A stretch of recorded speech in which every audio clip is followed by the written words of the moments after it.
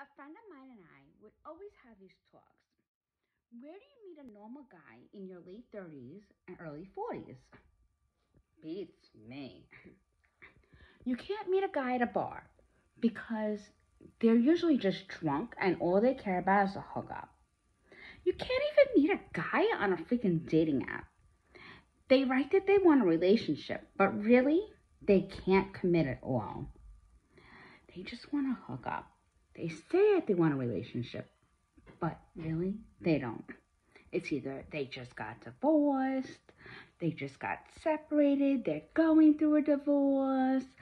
Oh, my girlfriend broke up with me and I, I just can't commit.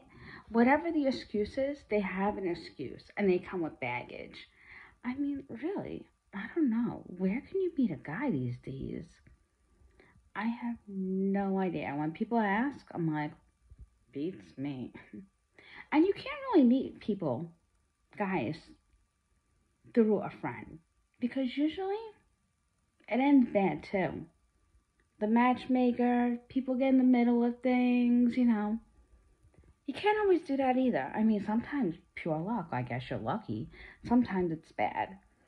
So it's better, I guess, not to know the person. But then it's like, you still wonder. So, yeah, I don't know. When people ask, I seriously have no idea where to meet people these days. No clue at all. I wish I did. And yeah, I mean, people will tell you all the time. Friends will tell you, why don't you date me? Oh my God, you're so pretty oh, we'd be a great couple. I'm a great guy. No, you're my friend. I'm not even attracted to you.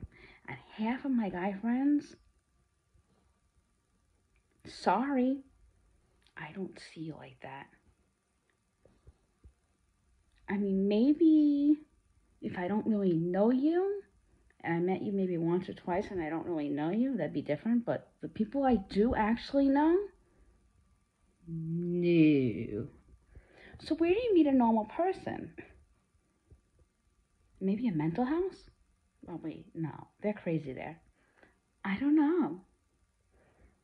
Anybody have suggestions? Because a bunch of people asked me, and I have no idea.